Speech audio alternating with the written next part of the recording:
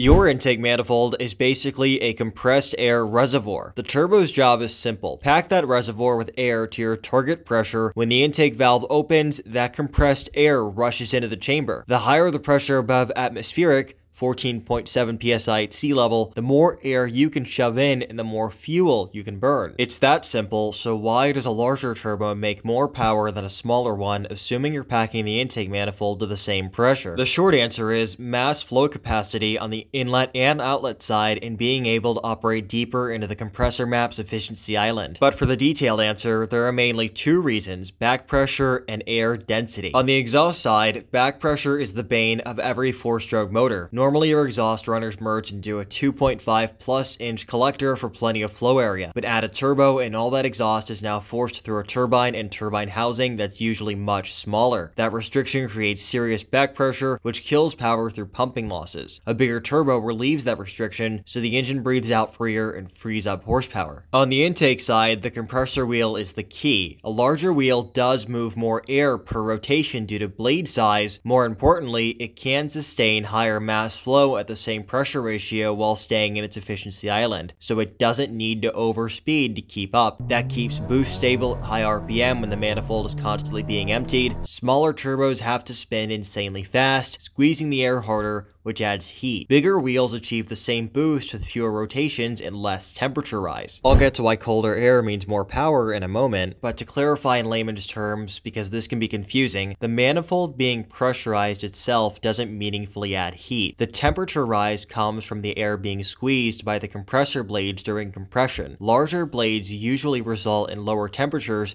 because they move the same amount of air into the manifold with fewer spins, which means less total air squeezing and less compression heat produced. The heat load is tied to compressor efficiency, not just the fact that the manifold is pressurized. Now, colder air is denser air, which is why air density is so important. Colder air resists knock since there's less post-compression heat, allows more ignition timing, and burns more completely. The result? Stronger combustion and more power even at the same boost pressure. That's why a bigger turbo not only makes more power, but also expands your power band as long as it's spooled properly. There's also the saying that a larger turbo makes the same power at a lower boost pressure. That's true, but it's mostly because of reduced pre-turbine back pressure, assuming charge air temps aren't significantly higher with the smaller turbo and intercooling gets it down to similar temperatures. Because remember, the fundamental of forced induction is the more manifold pressure you can safely add while keeping air temperatures under control, the more oxygen you can force into the chamber and the more power you can make. So if you enjoyed and you want more clear and concise videos like this one, make sure to like this video, subscribe, and comment comment down below if you have any questions. Thanks for watching.